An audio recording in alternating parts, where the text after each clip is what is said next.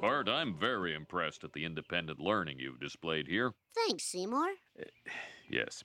Um, anyway, as a reward for your studying, I've decided to welcome you back to our school. You'll be reunited with your chums, Nelson, Jimbo. Do- oh, dear God! I guess I've always used violence as a way of getting attention. Yes, yes, me too. Oh. Faster, Willie, faster! Now we give them the bikes. No one sues. What if they're dead, sir? Then we ride these bikes to Mexico and freedom, Willie! Freedom! Freedom! He'll turn you in at the first toll booth.